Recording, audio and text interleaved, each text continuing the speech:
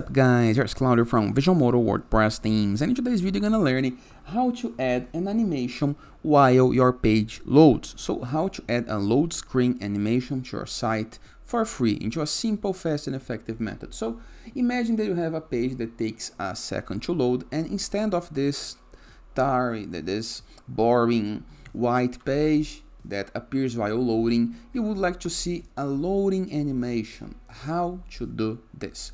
First thing, log into your WordPress dashboard to access WordPress dashboard, this page right here, the control panel of your site.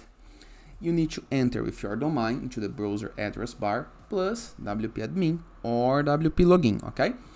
After, you need to enter with your email or username and password. You're gonna be able to see a page almost like this one.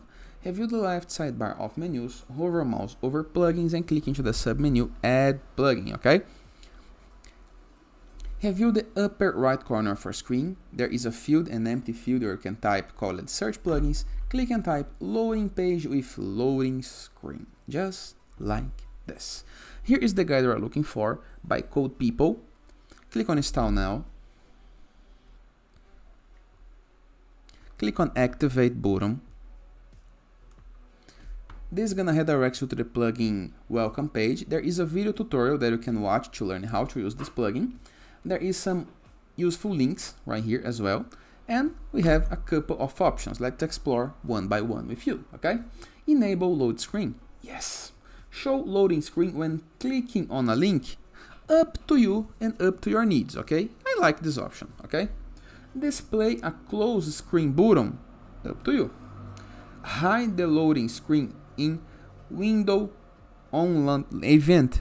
Up to you display the load screen on all screens, greater than, lesser than, up to you, okay? So you can choose the widget. So it's a way to display load screen only on desktop or only on mobiles or only on tablet, up to you. I prefer to display in all screen sizes.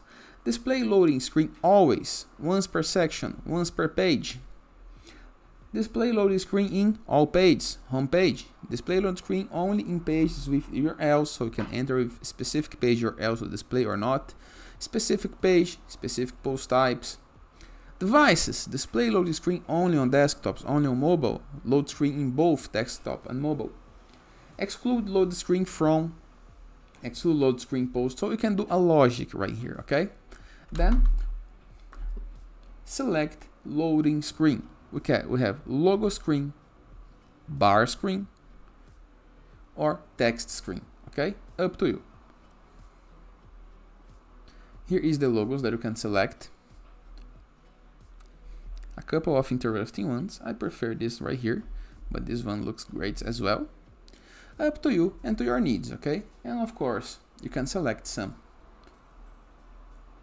Width, height, colors, couple of extra options. Update settings. Now let's try. Here is our loading screen. Fancy right? Of course our page loads so fast so no need to worry much about it. But if your site take more time to load a loading screen can be a really really useful thing to attract visitors to not make people leave your site. This one looks fancy as well.